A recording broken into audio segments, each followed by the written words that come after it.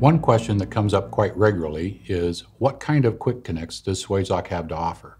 In fact, Swagelok offers a wide variety of quick connects, starting with our miniature or QM series that features end connections of 1 16th and 1 8 inch and quick fingertip control.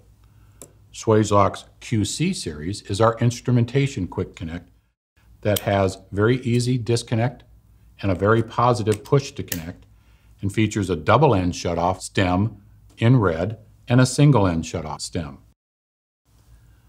Swagelok's QF series is our full flow quick connect that features compact design and no restriction of flow.